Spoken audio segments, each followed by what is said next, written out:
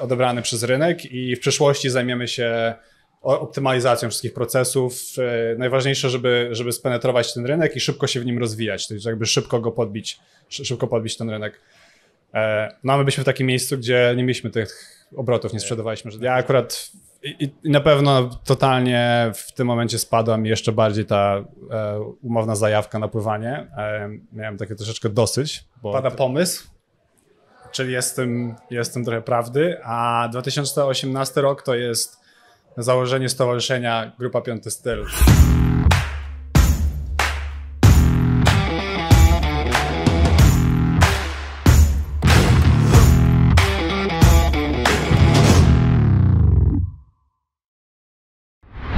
Cześć, witam Was serdecznie w kolejnym odcinku Pływackiego Biznesu.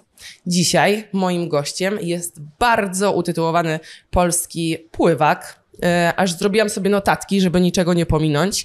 Olimpijczyk z Londynu z 2012 roku, trzykrotny mistrz Europy juniorów, brązowy medalista letnich Igrzysk Olimpijskich Młodzieży, dwukrotny mistrz amerykańskich akademickich mistrzostw pływackich NCAA, finalista Mistrzostw Świata i medalista Mistrzostw Europy mm, z Glasgow z 2019 roku. Marcin Cieślak, witam serdecznie. Dzień dobry, dziękuję za zaproszenie. E, a ja się bardzo cieszę, że znalazłeś czas w tym swoim napiętym grafiku, żeby mnie odwiedzić i ze mną dzisiaj porozmawiać.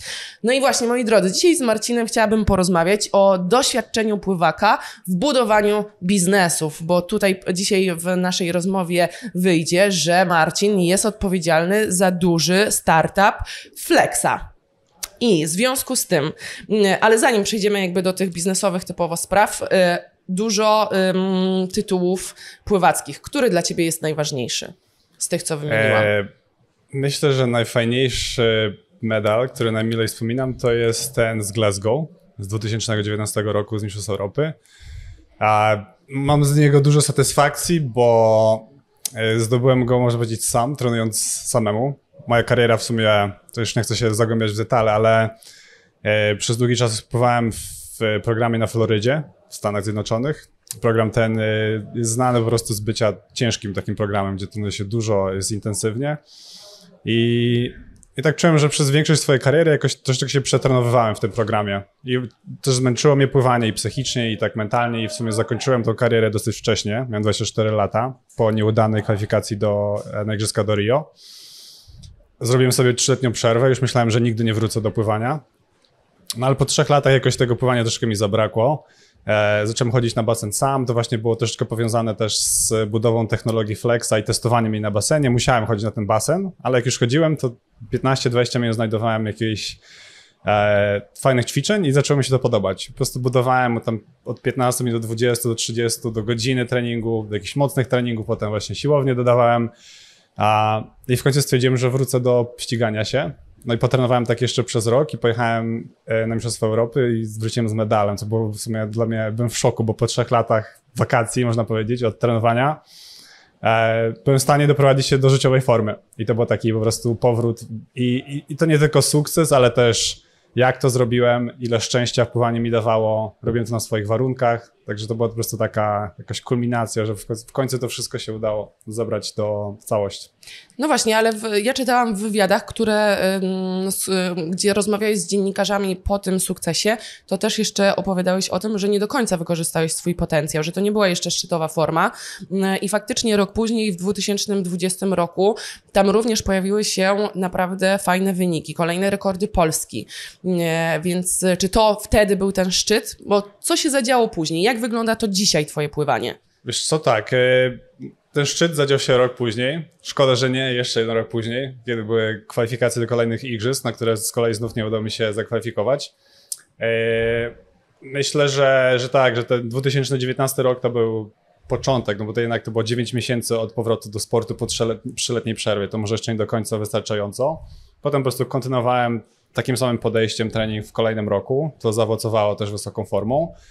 E, także no satysfakcji, to jeszcze wszystko połączyło się z zawodami ISL, które po prostu jestem wielkim fanem, uwielbiałem te zawody, szkoda, że już, że już się nie odbywają. E, no ale prostu fajnie było mieć ten szczyt formy właśnie reprezentując swoją drużynę, e, ścigać się właśnie na zawodach ISL, także to było ekstra. no potem liczyłem na to, żeby jeszcze przedłużyć tą swoją formę i, jeszcze, jeszcze zakwalifikować się na Igrzyska Olimpijskie w Tokio. Niestety coś tam mi, coś tam mi się nie udało. Wydaje mi się, że popełniłem, e, popełniłem jakieś błędy szkoleniowe takie. Ale może... dalej sam się szkoliłeś, Tak, szkoliłem się dalej sam i myślę, że, że jakoś wszystko mi do tej pory wychodziło i w pewnym momencie znów zacząłem przesadzać z tym treningiem. Czyli znowu zacząłem popełniać błędy, które popełniałem kiedyś e, trenując w innych programach, gdzie, gdzie jednak treningu, tego treningu robiłem za dużo. I to zmęczyło mnie i, psychicznie, i, fizycznie, i po prostu tam. Czyli nie było już tej radości. Tak, troszeczkę. Tak, właśnie było może mniej radości, a bardziej stało się to takim. E, jakąś taką presją, którą na siebie nałożyłem. A, I zamiast się bawić tym i podchodzić na wielkim luzie dalej do sportu, to to ja miałem wielkie cele i, i codziennie tych, do tych celi, e, celów dążyłem i, no i po prostu wydaje mi się, że przesadziłem trochę z e, objętością i, i zmęczeniem i po prostu nie, nie, nie, nie, zda, nie zdążyłem się, nie zdążyłem wypocząć na te ważne zawody. No i co się stało później, po tej nieudanej ym, kwalifikacji? Bo dzisiaj się widzimy na zawodach mastersowych, więc dalej pływasz. Ale czy myślisz o tym, żeby wrócić na tą arenę y, międzynarodową? E, tak, jeszcze nie zrezygnowałem w, kompletnie. E, wiesz co, na pewno, na pewno, na pewno wpadłem w jakiś taki delikatny dołek po tej nieudanej kwalifikacji. E, oczywiste to jest, że jeśli mamy oczekiwania i, i na coś się nastawiamy, to, e, to jeśli to się nie udaje, no to są jakieś ciężkie emocje do przetrawienia, trzeba sobie z tym poradzić. E, ja akurat i, I, na pewno totalnie w tym momencie spadła mi jeszcze bardziej ta e, umowna zajawka na pływanie. E, miałem takie troszeczkę dosyć, bo tyle, tyle się napracowałem, bo po prostu, e, a po prostu nie poszło. E, aczkolwiek dosłownie kilka miesięcy później ja już startowałem w zawodach ASL. Kolejny sezon się zaczynał. Byliśmy najpierw w, w Napolu przez 6 tygodni na pierwszej części sezonu, potem pojechaliśmy do Eindhoven na drugą część sezonu. Także ja w tym pływaniu uczestniczyłem i starałem się tak jakby jak najwięcej z tego czerpać korzyści i, i, faj, i korzyści, radości. I fajnie było, bo, bo, działo się na zawodach ASL, które dawały mi tą radość. Byłem z całą drużyną, także, także to, był, to był pozytywny okres. A, ale ta relacja z pływaniem troszeczkę, troszeczkę ucierpiała, nie ukrywam. I do tamtej pory w sumie po zakończeniu tego sezonu ASL w 2020 pierwszym roku, czyli no, rok temu koło. E, wróciłem do pływania w takim wymiarze bardzo czysto dla przyjemności. Czyli nawet nie, nawet nie, nie doszedłem do tego poziomu z powiedzmy roku 2019, gdzie się bardziej nastawiałem na, na, na ściganie się. Teraz rzeczywiście chodzę na basen dwa, trzy razy w tygodniu, raczej dla, dla relaksu, ale nie wykluczam, że będę po prostu jakoś czekać na swoje emocje i one, jeśli moja głowa poczuje się w takim miejscu, gdzie e, poczuje się gotowa do ścigania i będzie na to chęć, to totalnie się, totalnie się zaangażuję i to zrobię. W tym momencie po prostu nie mam takiej chęci, raczej, raczej chcę e, się relaksować i po prostu innymi rzeczami zajmuje się moja głowa.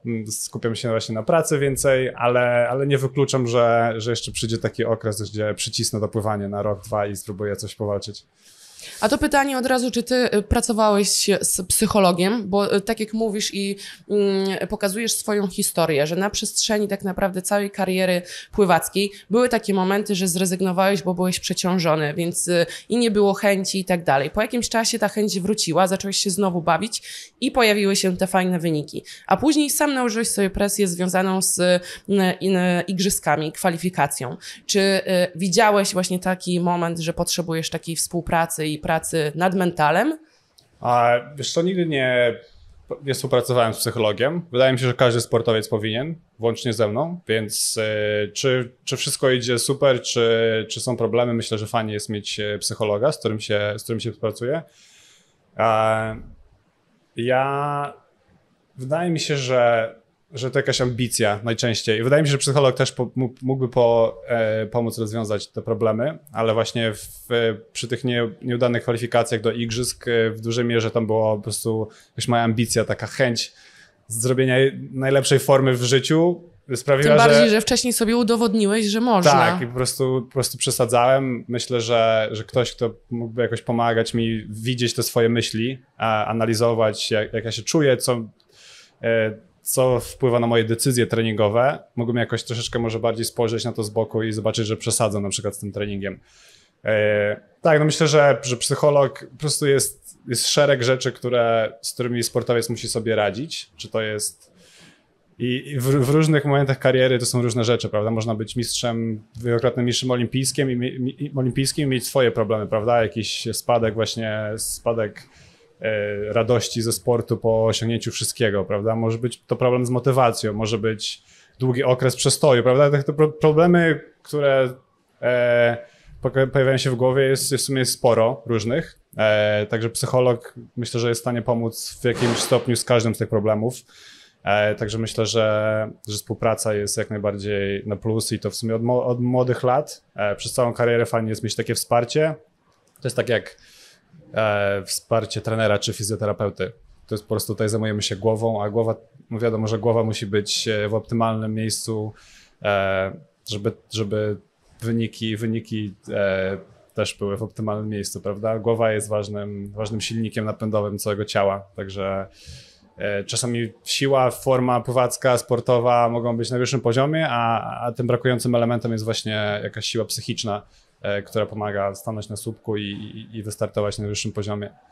No dokładnie, tak płynnie sobie przechodząc, przejdziemy w stronę biznesu, bo ja też jestem bardzo ciekawa, jak z tym mentalem sobie radzisz y, od strony wyzwań biznesowych, stresem tutaj związanym z różnymi y, kryzysowymi sytuacjami, bo na pewno takie były y, na tej twojej przygodzie, ale jakbyś nam mógł opowiedzieć, Flex, startup, jesteś właścicielem. Ja znalazłam, powiem ci szczerze, robiąc właśnie research, sprzeczne informacje, bo na twoim LinkedInie jest informacja, że został Flex założony w 2017 roku, a na Wikipedii, że w 2015. To jak to było? Skąd w ogóle był pomysł i te pierwsze kroki mhm. właśnie, jeśli chodzi o założenie Flexa? E, co? Pomysł na Flexa pochodzi z, z, w sumie z treningów na Florydzie, e, gdzie wraz z dwoma przyjaciółmi, którzy są e, inżynierami, na którym ja pływałem i, i, i, i uczyłem się, byliśmy sfrustrowani z braku dostępu do danych treningowych. Dla, dla nas, dla trenera, to był jakiś taki okres, gdzie powoli coraz więcej zagarków zaczynało być wypuszczanych na rynek. Były opaski takie na, na klatkę piersiową do mierzenia tętna, ale nic, żadne z tych rozwiązań nie było jakieś optymalne podpływanie. Czyli no te zegarki, wiadomo, zegarki często używają sensorów optycznych, czyli wiadomo, woda w sensorze optycznym e, bardzo, bardzo... Ma duży margines błędu. Tak, bardzo psuje te, bardzo psuje odczyty. Z kolei pasek jest niewygodny, zsuwa się przy pływaniu i... A, no i często obserwowaliśmy taką sytuację, gdzie, gdzie tender miał wytyczne, powiedzmy, e, e, tętna, na jakim, na jakim mamy się trzymać w określonym zadaniu i kazał nam co tam 200 metrów zatrzymywać się, liczyć ilość uderzeń na 10 sekund, potem mnożyć to przez 6 i dawać nam liczbę tych uderzeń na minutę. I to też wydało mi się takie średniowieczne. I nie dość, że, że ja muszę się zatrzymywać, przerywać zadanie, liczyć, to jeszcze prawdopodobnie margines błędu jest tam 5-10 uderzeń na minutę, czyli ja mógłbym być w dwóch różnych strefach. Mm -hmm.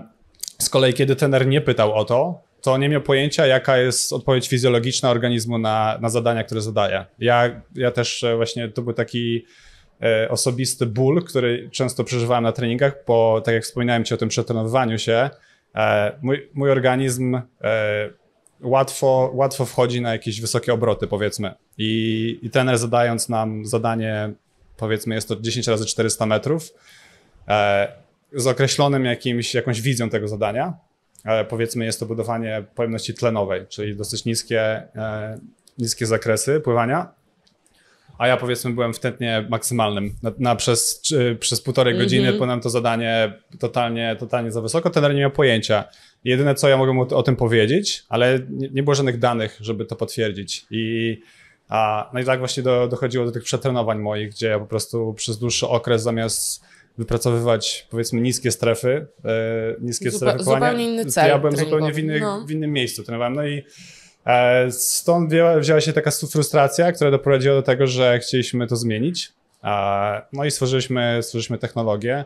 Flex e, i to wszystko no stało poczekaj, się... Poczekaj, poczekaj, tak, no bo od, pom od, pomysłu do realizacji to jest długa droga. Tak, tak. Znaczy, bo to tak opowiadasz, że to tak i stworzyliśmy, wymyśliliśmy i stworzyliśmy. Wiesz co, ten pomysł właśnie powstał w... To wszystko działo się w 2015-16 roku, czyli może trochę prawdy jest w Wikipedii, aczkolwiek e, już mówię, co stało się w 2017 roku, co było jakimś tam szumowym momentem. My stworzyliśmy, zebraliśmy grupę pięciorga ludzi. E, część była inżynierami, część e, po prostu lubiła technologię, pływanie, sport, miała jakąś wizję, jak, jak taka technologia mogłaby działać w sporcie. I e, zbudowaliśmy prototyp pierwszy tego urządzenia, napisaliśmy biznesplan, czyli opisaliśmy rynek pływacki, ile nas jest na całym świecie, jaki ten problem istnieje na tym rynku, jak chcemy go rozwiązać, kto jest klientem, prawda, cały, cały, cały biznesplan, jak będziemy to reklamować i skalować. No i z tym prototypem, jakimiś wczesnymi danymi, które dawało nam się zebrać, e, z biznesplanem zaczęliśmy e, podróżować po, po całych Stanach i, i pokazywać to inwestorom. Najczęściej było to w formie różnych takich zawodów startupów, czyli taki turniej startupów, gdzie każdy przedstawia swój biznesplan e, przez powiedzmy 10 minut prezentacji, potem 10 minut pytań od inwestorów i a, no i w pierwszym... W Stanach chyba jest tego dużo, co? Dużo jest tego, tak. E, ogólnie swoją drogą Stany mają dużo, jest dużo takiego wolnego kapitału, który po prostu jest e, często inwestowany z powrotem właśnie w startupy, dlatego, dlatego rynek takiego e, kapitału wczesnego dla startupów e, jest niesamowicie rozwinięty. Dużo jest, e, o wiele łatwiej jest pozyskać e, środki na startup w Stanach niż, niż to jest w innych krajach. Nawet nie mówię o Polsce, tylko ogólnie w Europie, bo sam próbowałem rozmawiać wielokrotnie z inwestorami w, w Europie i E, po prostu tego kapitału jest mniej, czyli mhm. największa szansa statystycznie jest po prostu robić to w Stanach. No, ale startowaliśmy w, startowaliśmy w kilku takich turniejach. W pierwszym jakiś udało nam się finał zaliczyć, nic nie wyszło. W drugim drugie miejsce, nagrodę pieniężną. E, w trzecim e, doszliśmy do finału znowu. To nic się nie dzieje, ale trzy dni później dzwoni do nas jedna z jurorek tego pro, projektu Kobieta, kobieta, która przez 30 lat pracowała w Apple'u i nawet przez jakiś czas ze Steve'em Jobsem, czyli taka w sumie pani, która znała się na technologii i na, i na marketingu i była... I rynku po tak, prostu. Tak, rynku i była też pływaczką swoją drogą, no. taką amatorką. Zadzwoniła, powiedziała, że kocha pływanie, że bardzo jej się podobała prezentacja i że jest zainteresowana, zainteresowana współpracą z nami. No i to... A poczekaj, jeszcze ci przerwę. A jakich pieniędzy szukaliście? Wiesz co, my szukaliśmy... E, pół miliona dolarów, które miałoby pozwolić nam na skomercjalizowanie tego prototypu, tej technologii, którą zbudowaliśmy.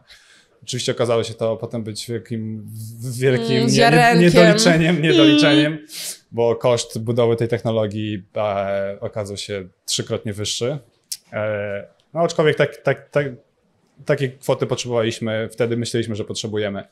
A no i tak nawiązała się współpraca właśnie z tą panią i mężem, którzy stali się pierwszymi takimi inwestorami seed, czyli mhm. ziarenko takie pierwsze, powiedzmy, wspieranie pomysłu na samym początku. Jeszcze nie jest wiele do pokazania, jest, jest jakiś pomysł, grupa ludzi, troszeczkę może prototypu, trochę technologii, ale raczej wierzy się w tą historię, wierzy się, w, że, że ci ludzie, którzy są w zespole, będą w stanie e, dostarczyć taką technologię. No i no oni weszli w wasz zespół jako inwestor zewnętrzny, czy oddaliście udziały? E, tak, odsprzedaliśmy udziały, czyli to okay. była runda finansowania, to się nazywa e, seed, runda seed, czyli runda taka ziaren, ziarenkowa powiedzmy, tłumacząc. E, czyli to jest tak jakby pierwsza runda, która wycenia startup, czyli e, na początku masz pomysł i założyciele startupu mają 100% udziału w tym pomyśle, ale w pewnym momencie chcesz pozyskać kapitał zewnętrzny, żeby zatrudnić więcej ludzi, po prostu popchnąć technologię, zrobić research, popchnąć to do przodu e, i, i rozwijać projekt dalej. No i szukasz inwestorów, ale przy okazji negocjujesz z inwestorami cenę twojego startupu, bo żeby inwestor zainwestował określoną ilość pieniędzy, on musi wiedzieć, jaka, ile udziałów, jest. jaka mhm. jest wartość, ile mu a, daje to udziałów. Także zaczynasz też negocjacje, ok, na ile wyceniamy tą spółkę w tym momencie, prawda? A to są trudne rzeczy. Skąd mieliście w ogóle pojęcie o tym, jak rozmawiać? E, wiesz co, to nie mieliśmy pojęcia. no! mieliśmy zielonego pojęcia i, i w startupie to jest, e, to jest częsta rzecz, że, że robisz, robisz rzeczy, o których nie masz pojęcia i do tej pory y, tak działam. I często. robisz dobrą minę do, tak, do gry. po prostu musisz... Ilość rzeczy, z którymi się mierzysz codziennie, ilość nowych rzeczy, których po prostu nie da się nauczyć nigdzie, bo, nie wiem, może po prostu lata, lata doświadczenia w biznesie i jakieś studia MBA, nie MBA, może jest w stanie ci troszeczkę przybliżyć ten świat, ale, a, ale po prostu wachlarz rzeczy, z którymi się mierzysz codziennie, czy, czy w marketingu, czy w finansach, czy po prostu w jest, jest nowością i po prostu trzeba wejść w internet, poczytać jakieś artykuły, książki i dowiedzieć się, jak, jak sobie z tym lepiej poradzić. Także nie mieliśmy żadnego pojęcia, jak zbierać ten kapitał. Po prostu chcieliśmy zaprezentować jakąś autentyczną, szczerą historię. Byliśmy pływakami, także myślę, że autentycznie wychodziło to od nas, że rzeczywiście mamy problem jako grupa sportowców. E, mamy zaplecze technologiczne, żeby naprawić ten problem. No i oczywiście mamy dostęp do rynku taki, że e, to powiedzmy nasza siatka, siatka znajomości i, i ludzi. Jest którymi, bardzo mocną i, stroną. Tak, jest bardzo mocną stroną i, my rzeczywiście, jeśli, jeśli, jeśli zbudujemy ten produkt, który sobie wymarzyliśmy i pokażemy go tym wszystkim ludziom, którzy znamy, których znamy w pływaniu, trenerom, zawodnikom, to oni będą podekscytowani tym i, i, to już samo tak jakby zacznie się sprzedawać. Także myślę, że to jakoś było, było takim to dzięki temu przekonaliśmy ludzi po prostu wiarą w ten pomysł, autentycznością, e, jakąś taką swoją, taką po prostu historią. Myślę, że często ludzie e, dobrze odbierają właśnie autentyczne historie. Nasze, nasze, nasze, nasze mózgi e, po prostu jest to jakieś tam atrakcyjne i, i, i dobrze, dobrze odbierane przez, przez drugiego człowieka, jeśli opowiadasz swoją historię, jeszcze ona jest autentyczna, tak? To jest, Utożsamiają wywołuje, się tak, tymi pozytywne emocjami, emocje, tak, tak. dokładnie.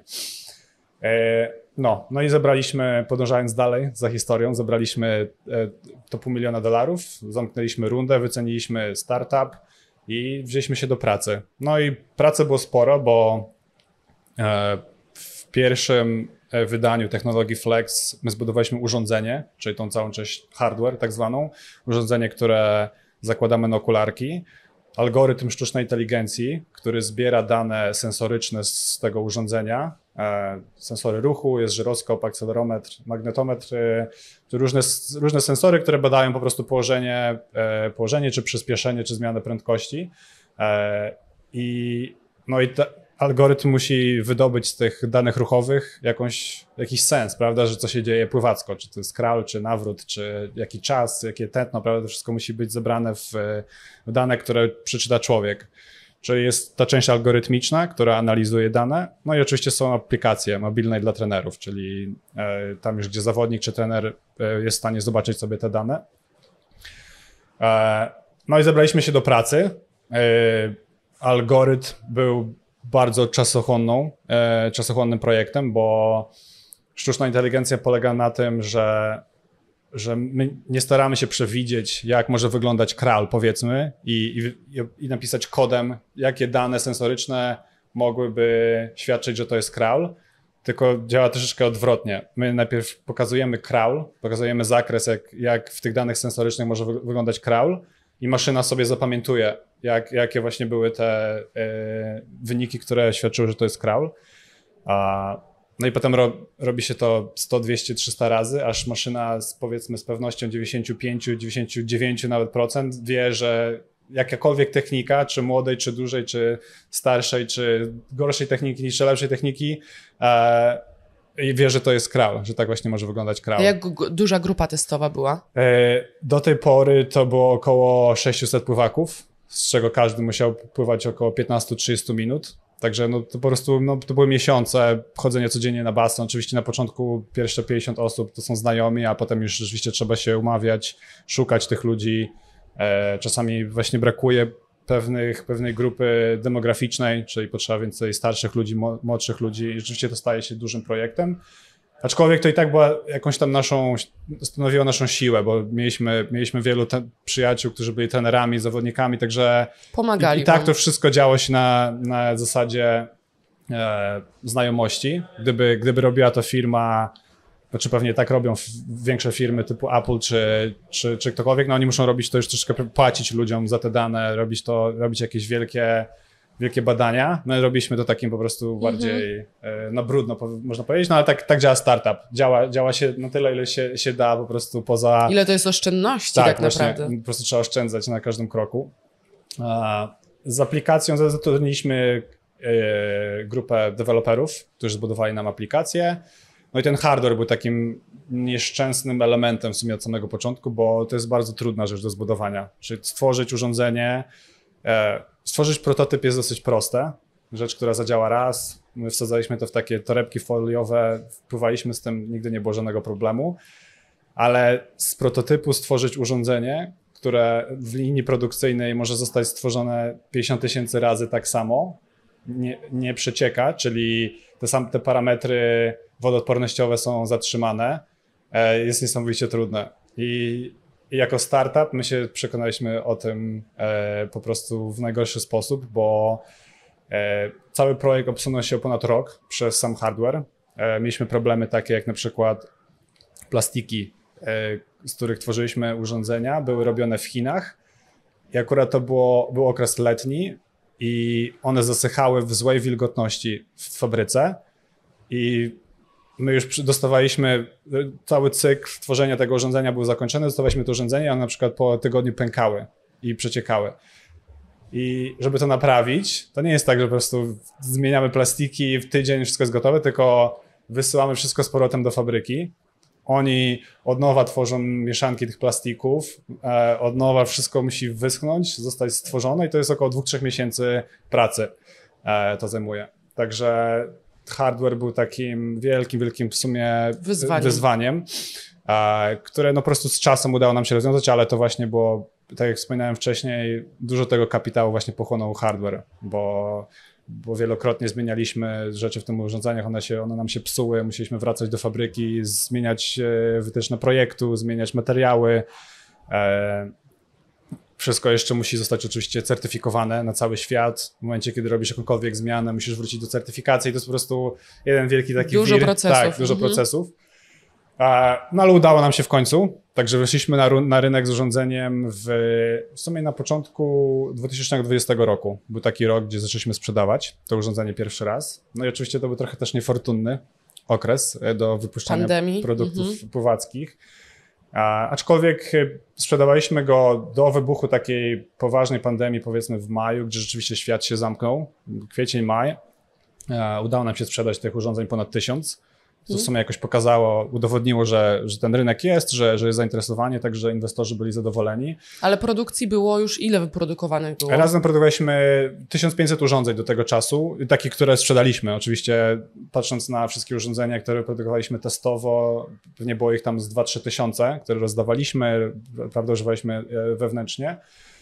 E, No i przyszedł okres pandemii, który, który w sumie sprawił, że prawie, prawie nam ten startup e, umarł, bo 9 miesięcy, 10 miesięcy z zamkniętymi basenami, oczywiście e, mała garstka ludzi ma dostęp do swojego basenu w, w ogródku, a tak naprawdę większość ludzi nie pływała, czyli to jest tak powiedzmy jak sprzedawanie kurtek narciarskich w czerwcu.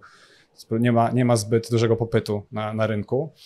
No i rzeczywiście od powiedzmy styczeń, gdzie styczeń, luty, marzec, gdzie tych urządzeń sporo sprzedaliśmy powiedzmy 300-400 miesięcznie, spadliśmy na dosłownie kilka. I czyli kontynuując ten trend, powiedzmy, gdyby nie pandemia, myślę, że wszystko było, byłoby świetnie, a, a my po prostu spadliśmy praktycznie do zero, sprzed, zera sprzedaży przez cały rok, więc to był pierwszy problem.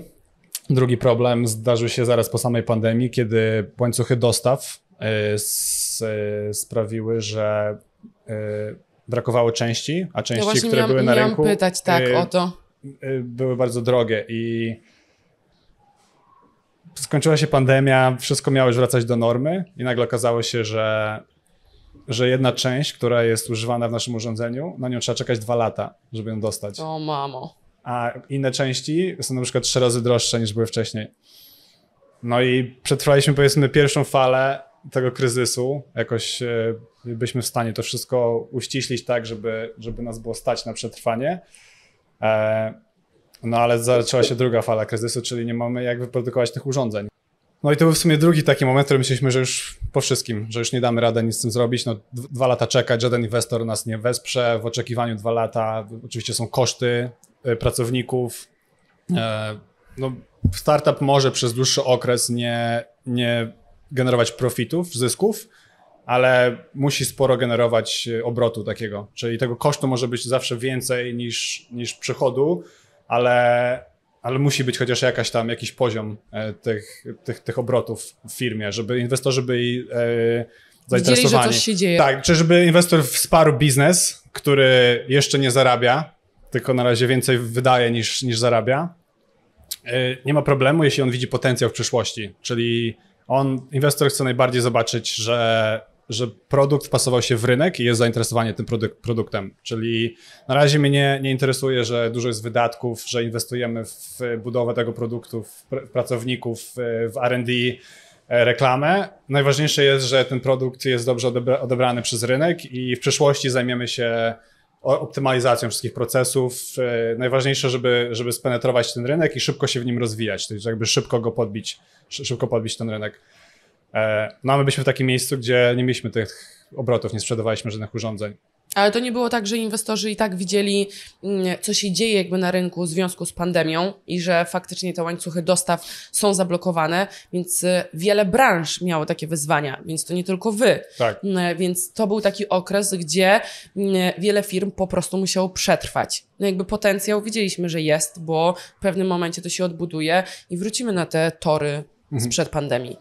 Tak. Y, wszystkie firmy musiały przetrwać, oczywiście wiele nie przetrwało. E, no i wszystko zależało od tego, ile, ile tak jakby pieniędzy dostawało firmie wtedy, jakby czy jest E, oczywiście wiele firm radziło sobie świetnie w czasie pandemii. Były takie sektory, które, które nawet się rozwijały w tym okresie. Um, aczkolwiek firma, która miała zapasy, rezerwy gotówkowe, nie miała problemu z przetrwaniem. No a startup z kolei my jako startup nie mieliśmy w ogóle takich rezerw. I, a inwestorzy w, w takim okresie uciekają od ryzyka. Czyli prawda, no, głównym, głównym, e, głównym wytycznym inwestora jest ryzyko, czyli w jakie, w jakie instrumenty inwestuje swój kapitał, jakie tam jest ryzyko. Często po prostu robi się wszystkie, wszystkie te instrumenty, aczkolwiek w okresie takiego kryzysu e, wczesne inwestycje w startupy e, cierpią najbardziej, czyli pieniądze uciekają właśnie od tego, od takich inwestycji. Ale wy mieliście jeszcze kolejne rundy finansowania, bo powiedziałeś o jednej. Sprzed pandemii jeszcze poszły kolejne? Tak. No i, i, i tutaj, i tutaj tak jakby wszystko, e, wszystko skończyło się dobrze właśnie po tych dwóch kryzysach i my znaleźliśmy, e, znaleźliśmy taki program, e, to jest program startupów, który nazywa się Lead e, Sports and Tech i to jest pro, e, program startupów, który stworzyła rodzina Adi Dasslera, czyli e, potomkowie założyciela Adidasa z Niemiec. Stworzyli taki program, który właśnie inwestuje w innowacje w sporcie. I oni częściowo operowali w Niemczech, w Berlinie, a częściowo na Florydzie. Mieli taki, mieli taki po prostu tam spółkę wspólną z inwestorem jeszcze amerykańskim i inwestowali w te startupy właśnie w, w, na Florydzie. Sami was znaleźli, czy dalej e, szukaliście?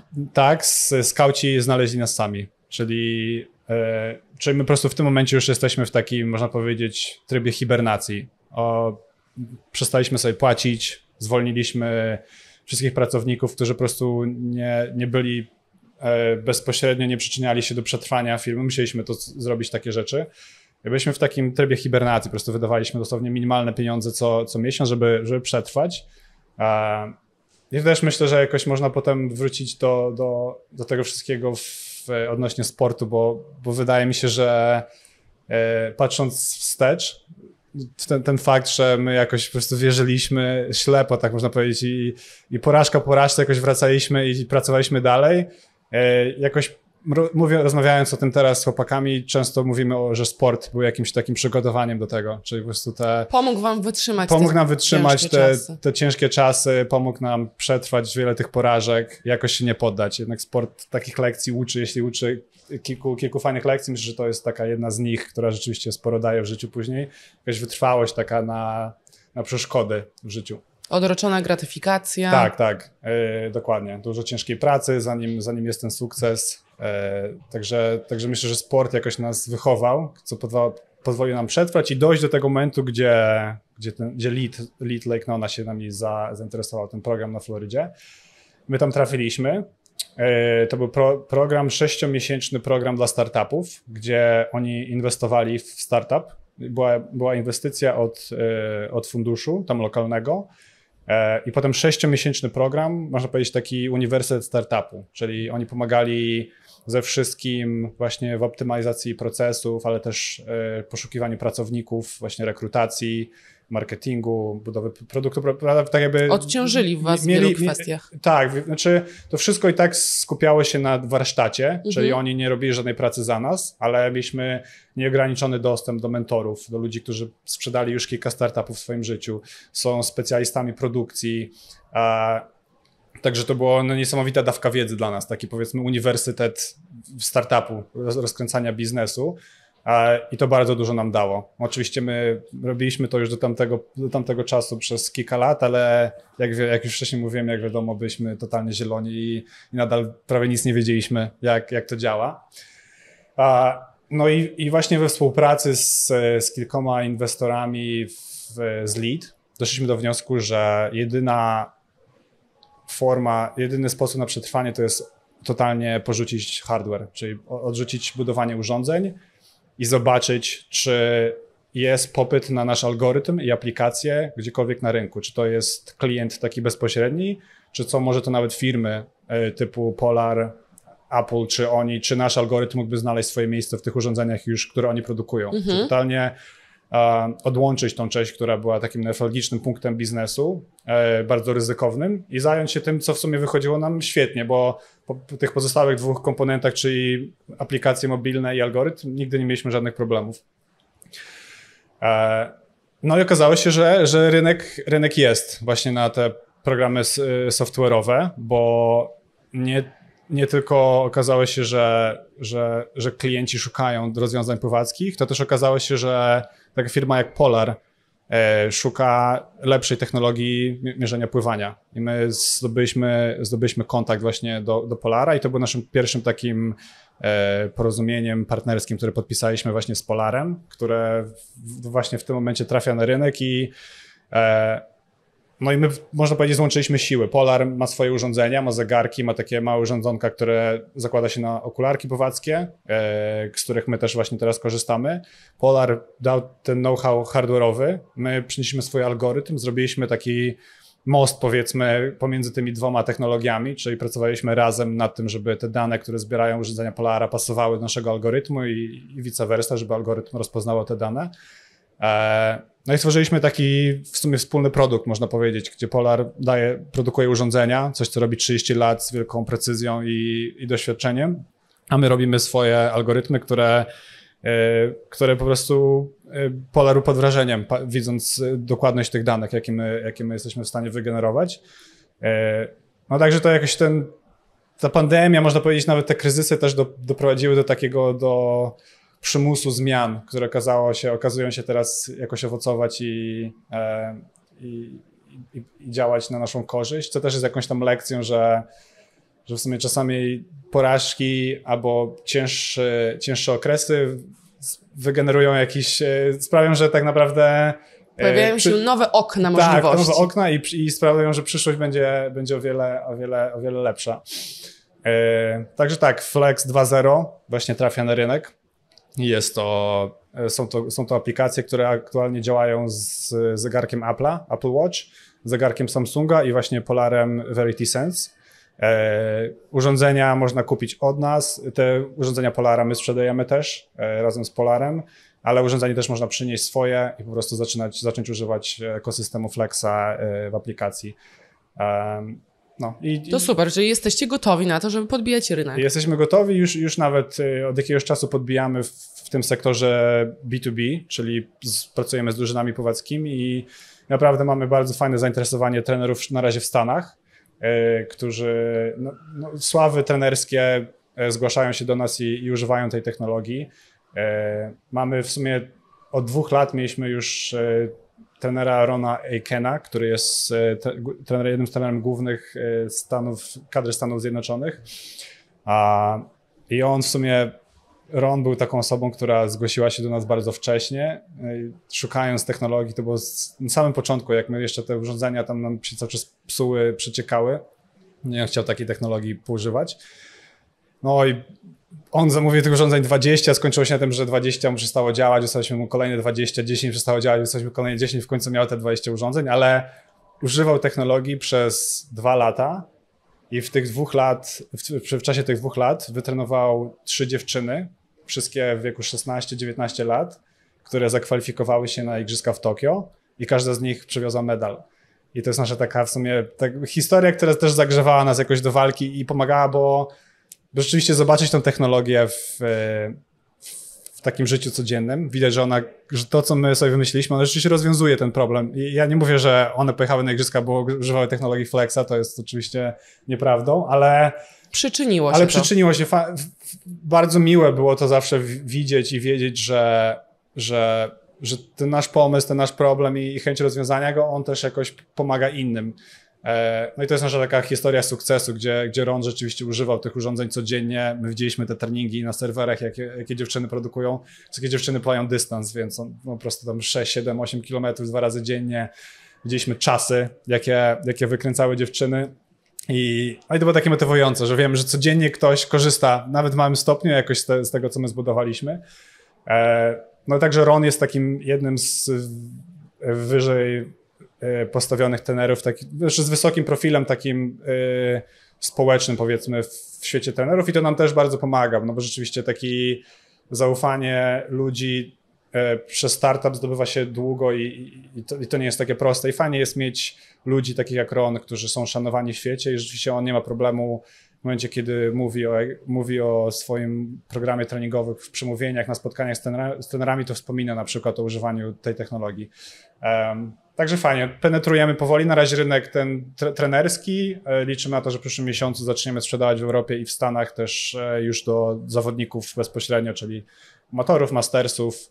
E, także, także wracamy, wracamy, można powiedzieć. Super, super. Takie historie to w ogóle są taką motywacją, że właśnie pomimo różnych wyzwań, e, które nas spotykają na co dzień, e, jeżeli wierzysz w to mocno i wierzysz w intencje tych wszystkich działań, to w końcu wychodzi słońce, pojawia się sukces, światełko w tunelu i, i tędy się podąża. Tak, no coś w tym jest, że, że często się, często są takie rzeczy, które wydają się klisze na początku, że właśnie, że, że, że, ta ciężka praca, ona zawsze owocuje, takie wydają się takie gadanie, ale, ale coś w tym jest, jakieś, jakieś źródło prawdy, rzeczywiście przetrwać kilka tych porażek i, i, i próbować dalej.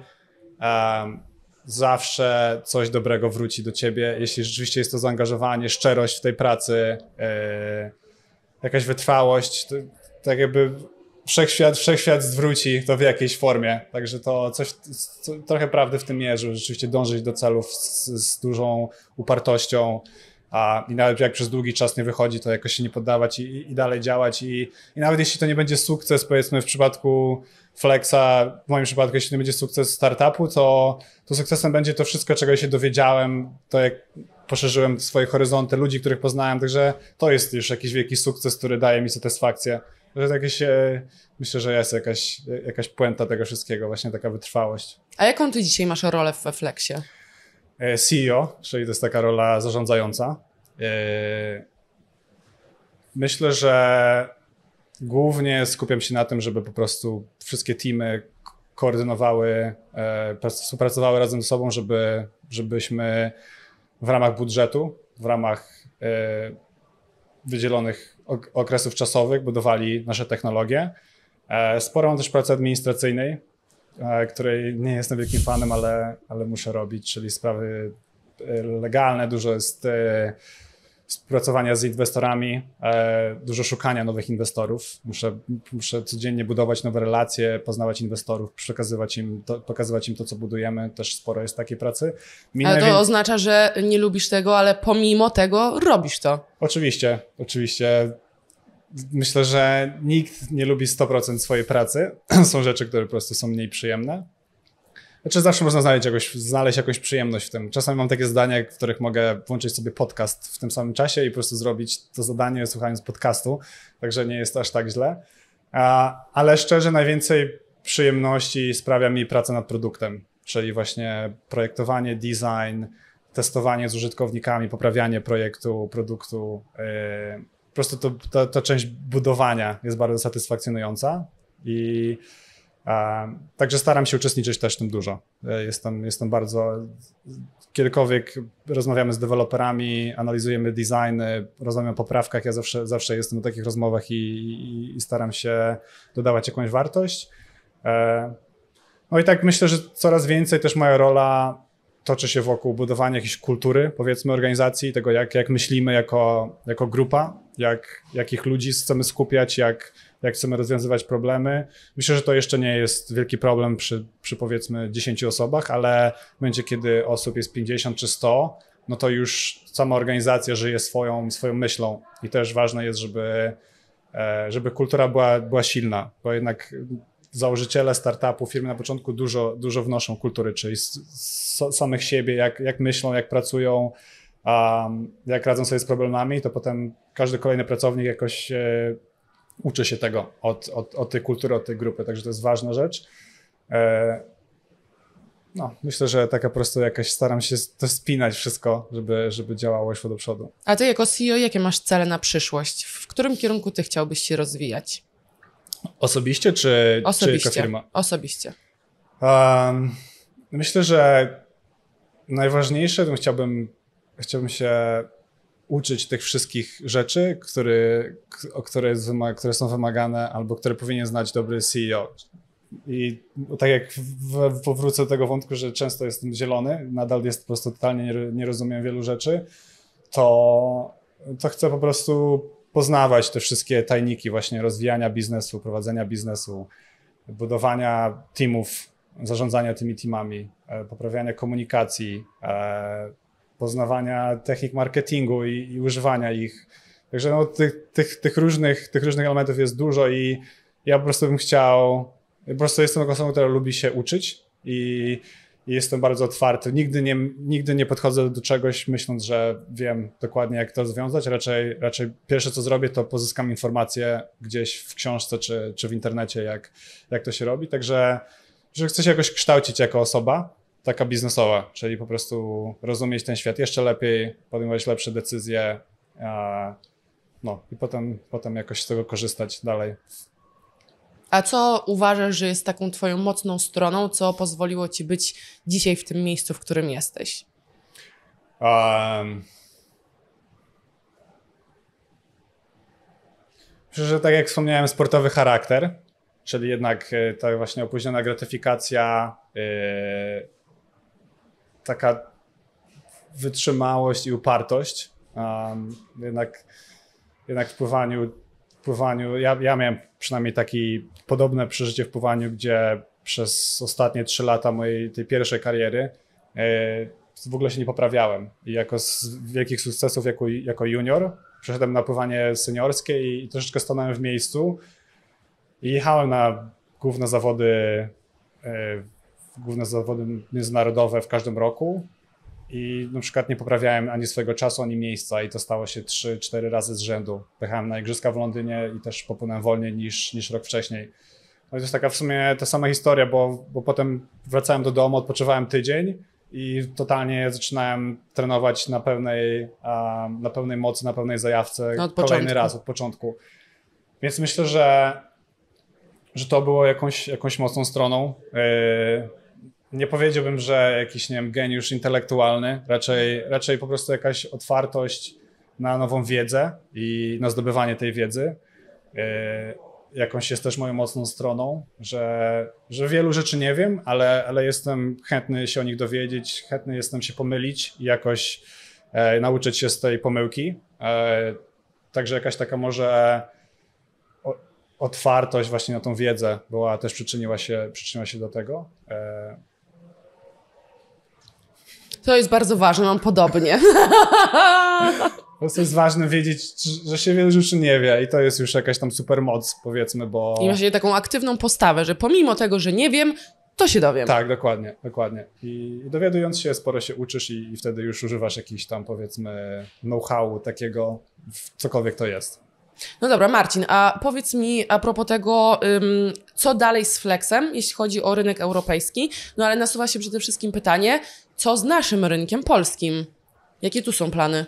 Eee, oczywiście. Bo jakby przede wszystkim w związku z tym, że jesteś e, e, czołowym polskim pływakiem, no to nasuwa się pierwsze co, że w Polsce to powinno się pojawić, wiesz, od razu i trenerzy niech działają i korzystają z twojego doświadczenia i wiedzy. Eee, oczywiście polski rynek jest bliski mojemu sercu, także na pewno ta technologia się tutaj pojawi. Mm, obserwując też jednak i w sumie jakoś e, uczestnicząc, uczestnicząc w tych rynkach pływackich na całym świecie, uważam, że polski rynek amatorski jest najsilniejszy, jaki widziałem, jeśli chodzi o korzystanie z basenów i zaangażowanie w pływanie regularnie. Jakby pozyskowaliśmy dane z różnych podmiotów, które właśnie mają dostęp do takich danych, mhm. i ludzi pływa i jest niesamowita ilość ludzi w Polsce, którzy pływają. Tutaj chociażby na basenie WUM często można zaobserwować, ile, ile osób w godzinach wieczornych no, pływa. No, myślę, że na każdym w Warszawie. Tak, i, i ja w innych krajach tego nie widziałem, czy w Stanach, czy, czy w Europie. E, aż takiego zainteresowania pływaniem nie widziałem. Basenów mamy sporo. W tym momencie tych rzeczywiście basenów już w Polsce jest chyba 800 prawie, także to nie jest mała liczba.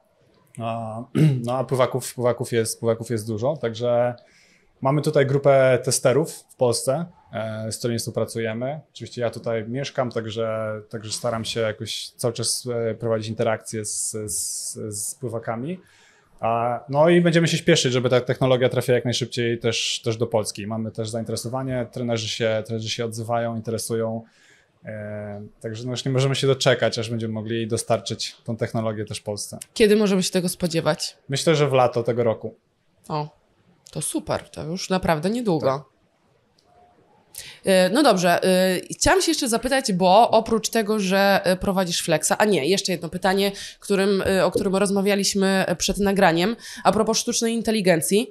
E, bo wcześ, we wcześniejszych odcinkach rozmawiałam z Batyldą, e, naszą psychopedagogzką, że kompetencje przyszłości, kompetencje miękkie e, są takimi kompetencjami, które warto rozwijać i które raczej nie, nie sprawią, że nasze działania, nasza praca jest zagrożona przez sztuczną inteligencję. Ty obracasz się w tym kręgu, więc jakie jest Twoje stanowisko? Eee, tak. Myślę, że wspomniała o tym Matylda, tak, w poprzednim odcinku, że, że praca tenera w dużej mierze to jest, e, to są umiejętności miękkie, czyli, czyli e, prowadzenie zawodnika pod tym kątem psychicznym. Można powiedzieć, powiedzieć, że poniekąd trener ma jakiś element psychologa w sobie. To, to jest osoba, która współpracuje, to jest po prostu lider, można powiedzieć, szef, lider, partner, prawda, różnie można nazwać e, tą relację, w zależności od wieku i powiedzmy zaawansowania zawodnika, ale no to jest taka osoba, która jednak ma bardzo duży wpływ na, na to, jak my postrzegamy pływanie, jak podchodzimy do treningów, jak podchodzimy do zawodów. Także myślę, że, że w do tym, życia. Do życia, tak, dokładnie. Jak układamy sobie, no, trener jest takim, powiedzmy, mentorem przez, przez dłuższy okres naszego życia. No to jest taka, w sumie można powiedzieć, osoba dorosła, z którą spędzamy najwięcej czasu, nawet niekiedy, więcej niż ze swoimi rodzicami przez okres trenowania jako, jako dziecko szczególnie. Także myślę, że, że ten wkład człowieczy jest niezastąpiony jakąkolwiek technologią, ale, no ale jak widać w, w, tych problemach, które właśnie istnieją w, w sporcie, braku dostępu do danych, braku tej dokładności, jeśli chodzi o fizjologię, o mierzenie postępu, czy to jest technicznego, czy fizjologicznego, czy rzeczywiście ten trening, który robimy, przykłada się do, do, do naszych celów, czy rzeczywiście rozwijamy te strefy energetyczne, które chcemy.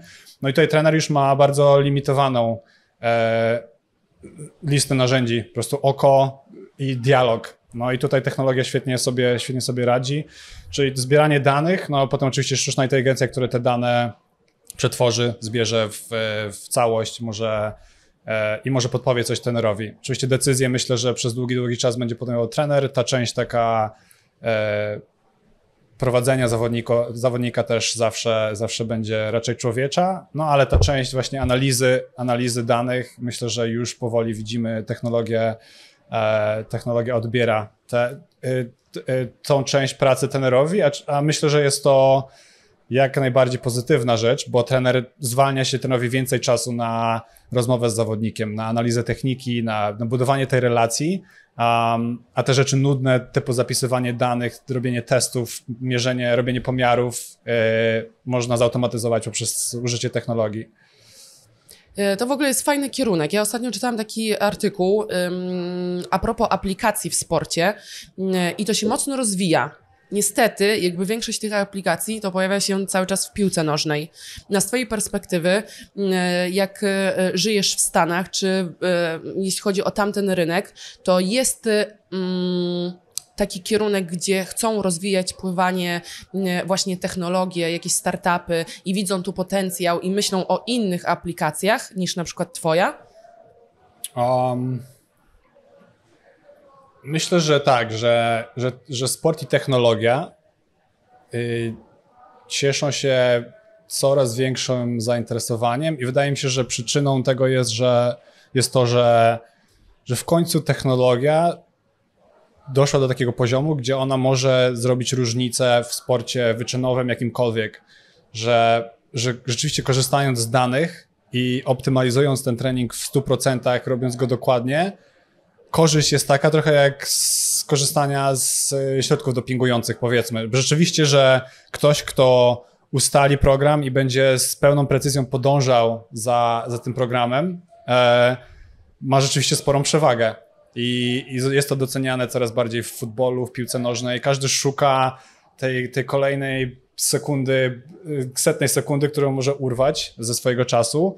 A no okazuje się, że, że technologia doszła do, do takiego poziomu rozwoju, gdzie ona może być tym czynnikiem, który pomoże e, zawodnikom, czyli właśnie te pomiary, mierzenie, e, indywidualizacja treningu, czyli z, musimy zmierzyć, jak różnią się 10 zawodników w mojej kadrze, w mojej grupie, jak oni są inni i chcę, żeby każdy przesuwał się codziennie o taki sam poziom, a nie ktoś zostaje w tyle, bo trening został niedopasowany do tej osoby, prawda? Musimy każdy trening można zmaksymalizować pod kątem efektu, a tak samo odpoczynek, prawda? Tak samo możemy optymalizować odpoczynek, co też podbija technologia, mierzenie tętna w nocy, HRV, alfa snu i używanie tych danych w dostosowaniu treningu, czy zawodnik jest przemęczony, czy nie, czy można, czy można zrobić dzisiaj intensywniejszy trening, czy nie. I my, my łączymy się też z tymi technologiami, też staramy się staramy się dawać ten dane i treningowe, i takie dane spoczynkowe.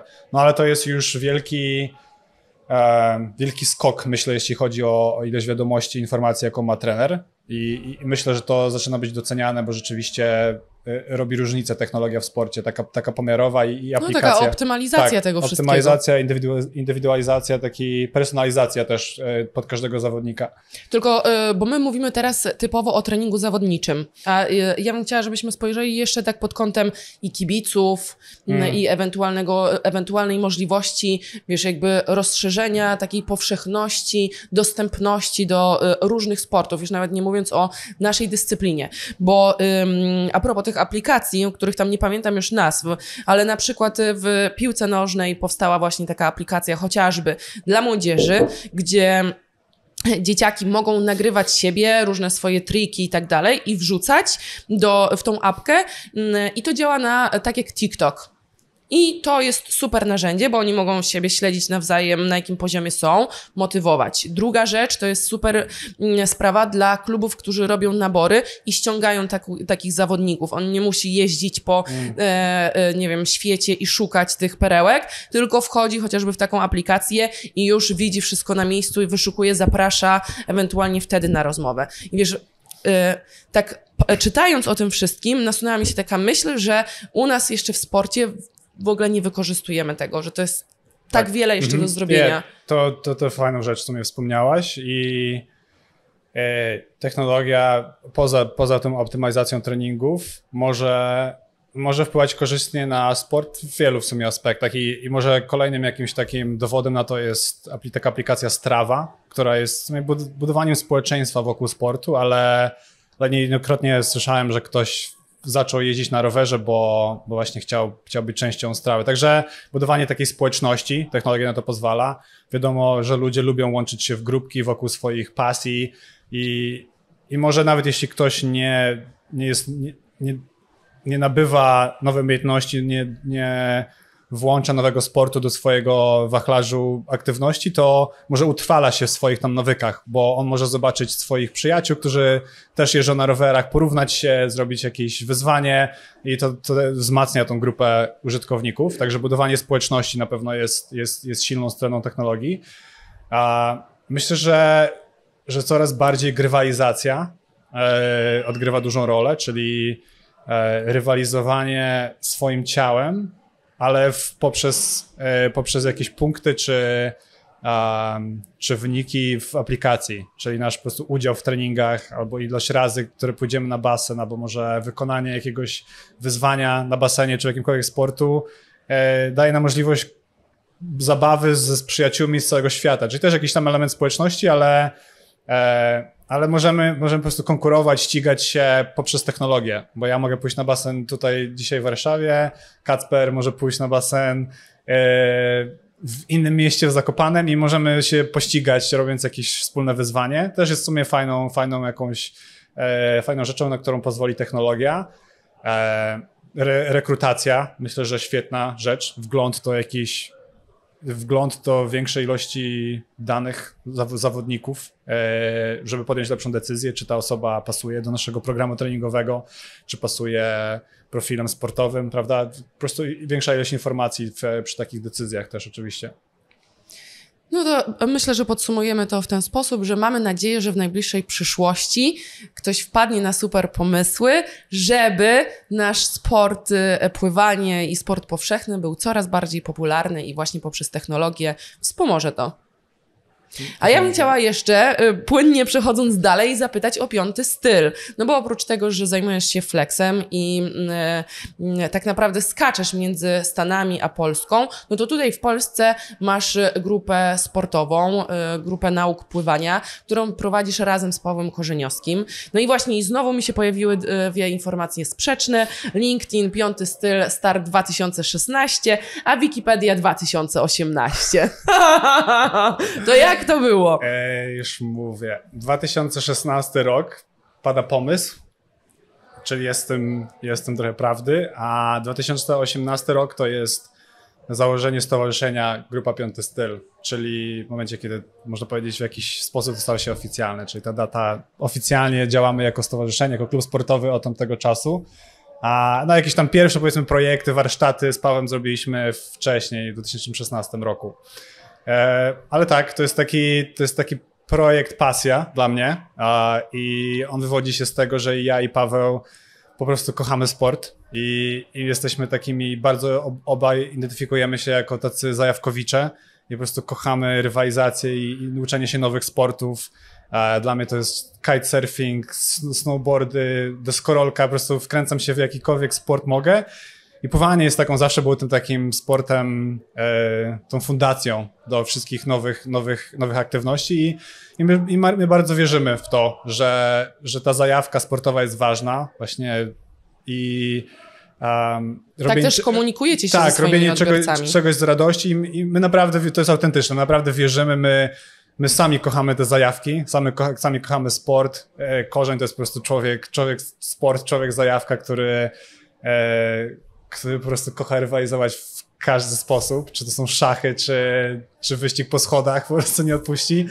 A, I my chcemy po prostu to, też poniekąd to, co dało nam pływanie, właśnie możliwości rozwoju, podróży, poznawania świata, jakiegoś tam kształcenia się, e, dużo radości, dużo lekcji. Chcemy, chcemy przekazywać innym pokoleniom, a wydaje nam się, że, że najskuteczniej robi się to przez tą właśnie zajawkę, czyli e, pokazywanie, jak fajny może być sport, jak, jak można się nim pasjonować. I jeśli to później nie jest pływanie, to może to będzie windsurfing, albo piłka nożna, albo kickboxing, prawda? Ale, ale staramy się budować ten taki nawyk e, cieszenia się sportem, e, cieszenia się ze spędzania czasu aktywnie ze znajomymi. A i bardzo to kultywujemy i to jest właśnie taka ważna część naszej kultury w piątym stylu, gdzie gdzie każdy nowy pracownik, po prostu chcemy, żeby, żeby każdy czuł, żeby każdy uczestnik naszych produktów i, i wyjazdów czuł, że, że my rzeczywiście wierzymy, e, wierzymy w to, że sport jest, jest świetną przygodą i, i, i że warto go uprawiać i że naprawdę przynosi dużo wartości. E, w naszych życiach i, i z tym się utożsamiamy. To jest taka naprawdę wiadomość, którą chcemy wysyłać dalej w świat i chcemy, żeby ludzie o niej słyszeli i chcemy, żeby, żeby to jakoś miało taki pozytywny efekt w społeczeństwie.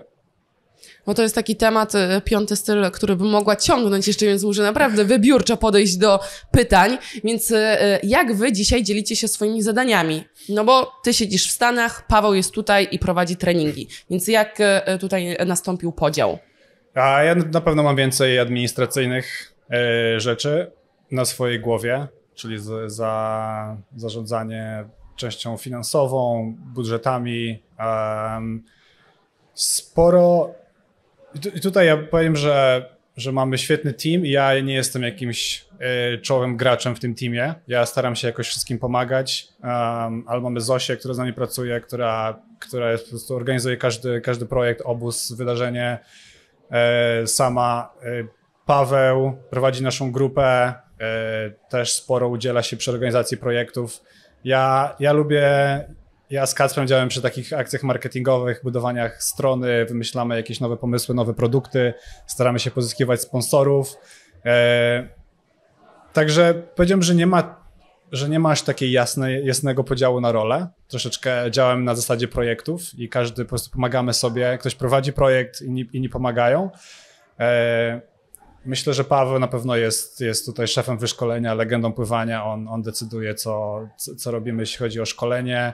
E, pomaga w organizacji, oczywiście pomaga w pozyskiwaniu sponsorów, jest niesamowitą marką w, w pływaniu.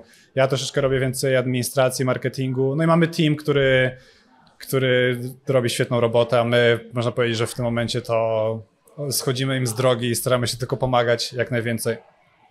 Ja pamiętam taką rozmowę, jak kiedyś toczyliśmy, chyba to było na basenie w Łodzi, e, jak wy zaczynaliście, e, a ja już tam jakiś czas działałam i ty się mnie zapytałeś, Sonia, jak to zrobić, żeby e, mieć tylu uczniów? No i wtedy tak raczej podchodziłam sceptycznie do tego, żeby dzielić się tą wiedzą. Dzisiaj już moje nastawienie jest trochę inne w tym kierunku.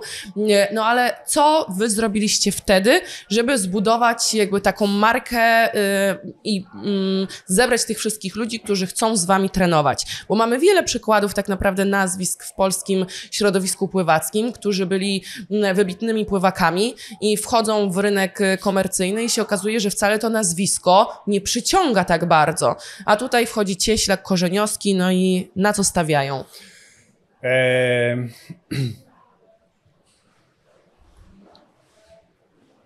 Bo to był chyba ten 2018.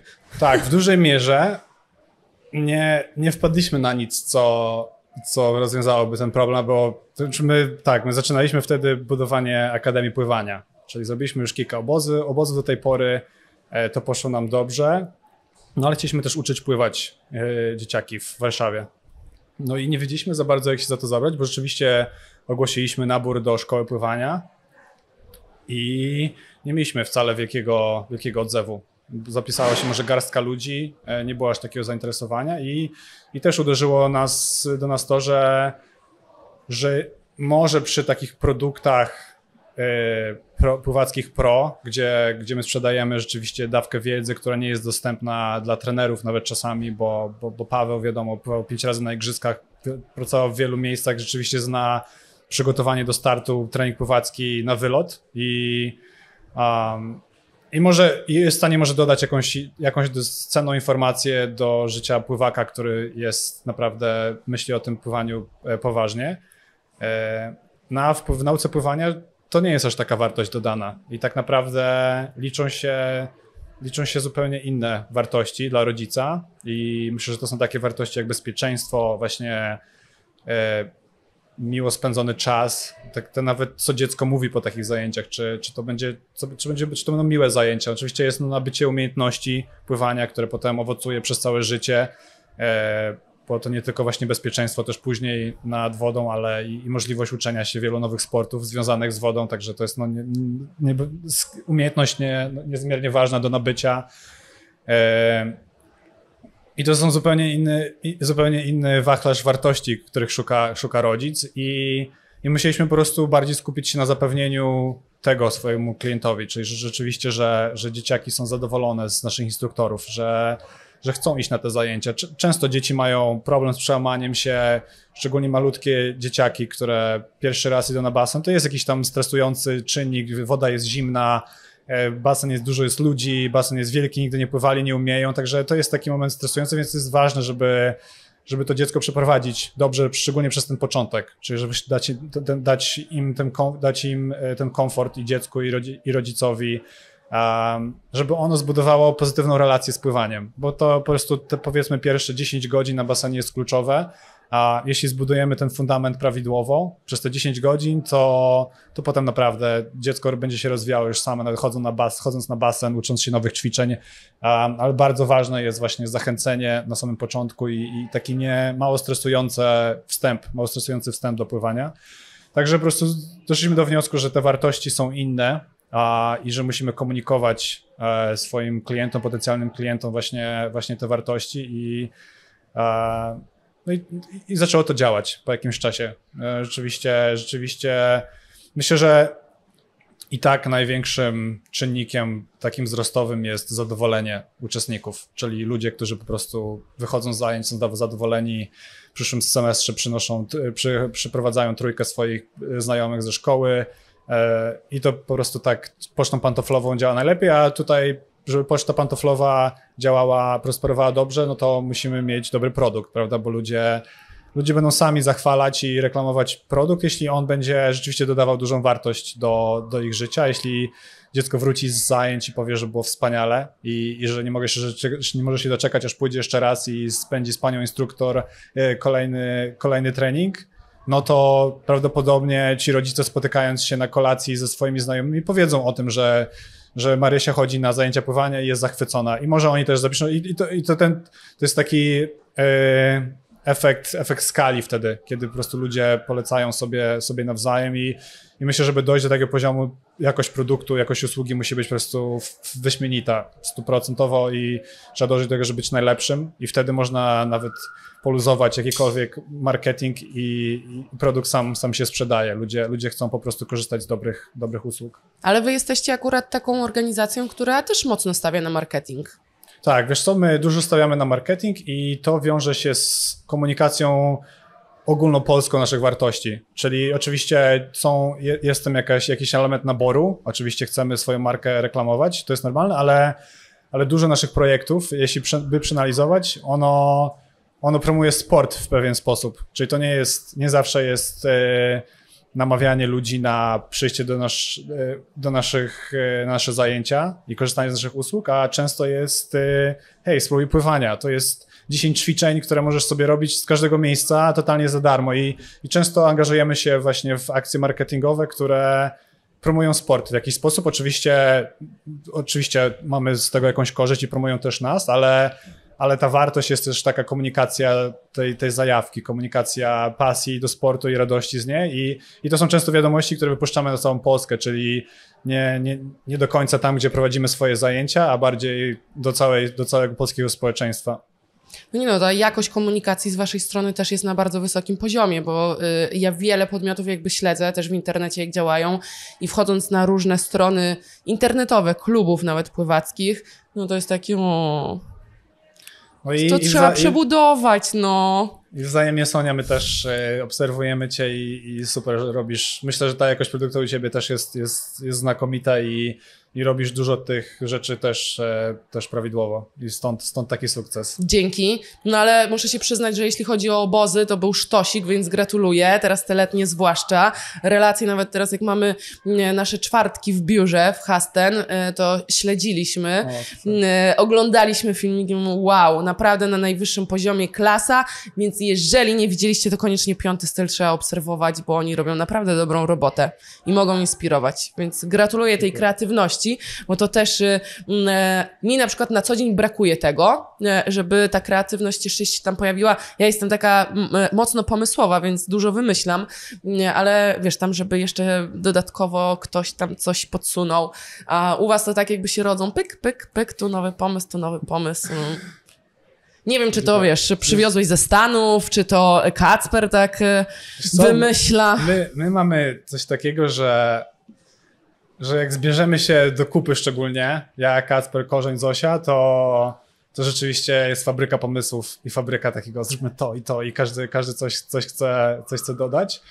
E, I to jest chyba taka fajna chemia pomiędzy zespołem. Ja nie będę ukrywał, że jak siedzę sam albo sam prowadzę zajęcia, zajęcia, nie mam tyle pomysłów, co jak na przykład obok jest Kacper i Korzeń i zaraz wymyślamy jakiś scenariusz na krótki filmik i on okazuje się być świetny to jest taka po prostu jakaś ekscytacja, którą dajemy, dajemy sobie nawzajem i tych pomysłów zawsze w grupie powstaje, powstaje dużo. No ale z tymi pomysłami to też można popłynąć później, bo pomysł pomysłem, a realizacja i możliwości finansowe to drugie. no pomysły, które widzimy, to jest dobre 10% naszych pomysłów. A kto jest tym, co tnieje?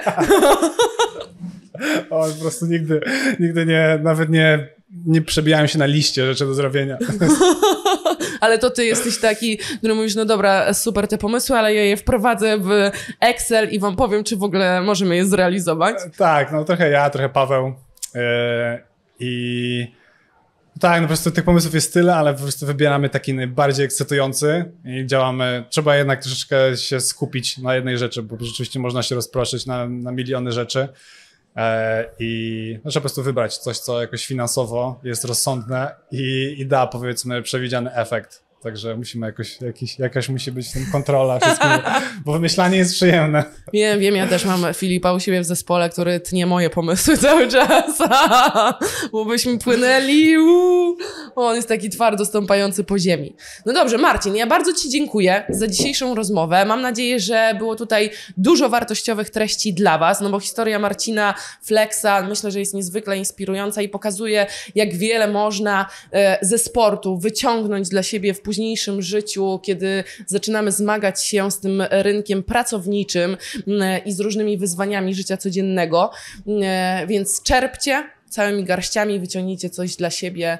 E, No i mam nadzieję, że e, w jakimś niedługim czasie spotkamy się znowu, a ty nas poinformujesz o niezwykle e, dużym sukcesie i podbiciu rynku europejskiego. Tego ci życzę. Dziękuję dzięki za rozmowę, Sonia. Dzięki.